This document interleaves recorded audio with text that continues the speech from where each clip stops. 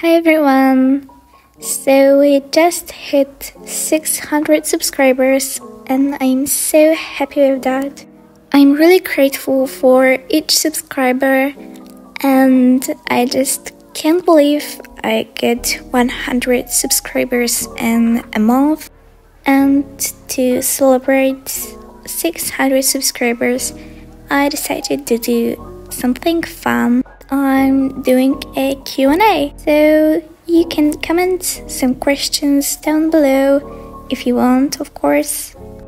And I hope you will comment a lot of questions because I'm really excited to answer them.